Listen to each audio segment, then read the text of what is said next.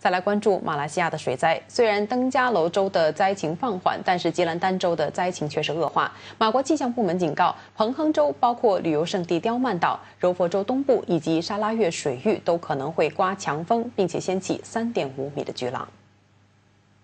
在灾情严重的吉兰丹州，到处一片汪洋，一些地方水深过膝，居民撑伞在水中缓慢行走。当局表示，来自瓜拉吉赖、日里、丹纳美拉。巴西马市和马章五个地区的千多个灾民被安置在三十个中心避难。